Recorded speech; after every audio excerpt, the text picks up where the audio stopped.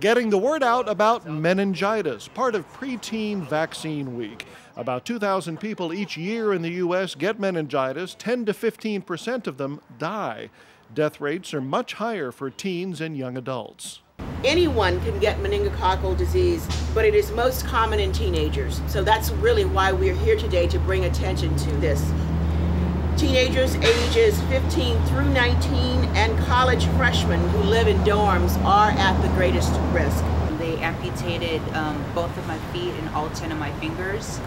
And um, luckily, I, I, survived the disease, and I'm here with Voices of Meningitis just to speak on behalf of them and to be a voice and for us to just join together and pass on the importance of vaccination. The Centers for Disease Control recommends a meningitis vaccine for those 11 to 18 years old.